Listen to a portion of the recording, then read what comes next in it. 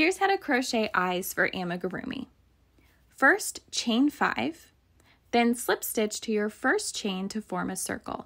Alternatively, you can create a magic circle and place 9 single crochet into the ring.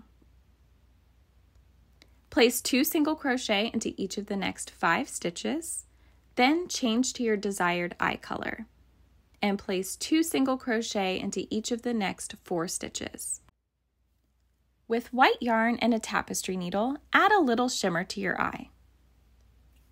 There's no magic trick to this, we're just adding two white lines. Tie off and weave in all of the strands except for the black yarn, and use pins to space out the eyes evenly, and then start sewing them in place.